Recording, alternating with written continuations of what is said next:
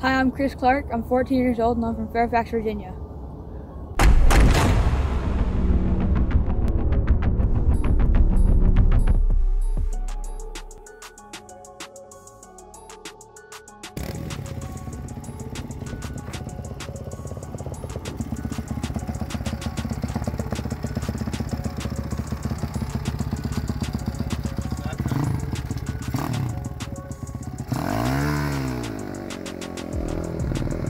Last season, I mainly raced at Sandy Hook Speedway.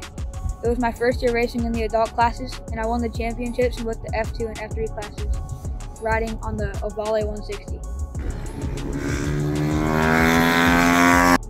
My top two tracks from last season are Road America because it the elevation changes. It was really fun. It was a smooth track, and I also liked the Ridge kart track because it was a very tight and technical track, and that's what I like.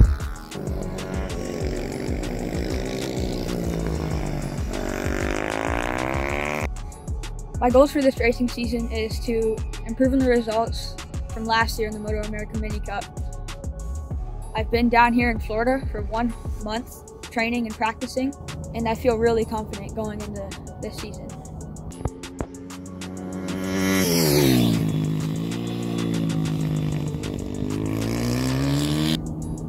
I want to thank my parents for supporting my racing, and I want to thank Travis Wyman for helping me go faster and supporting me.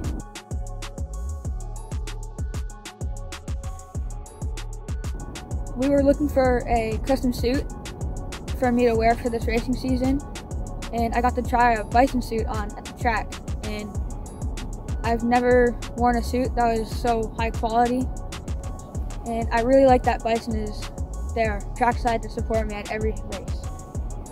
So we're gonna go back to Virginia and we're gonna continue training and try and get a head start on this racing season and prepare as much as we can for the Moto American Mini Cup. Awesome. We'll look forward to seeing you there, brother. Good luck this year.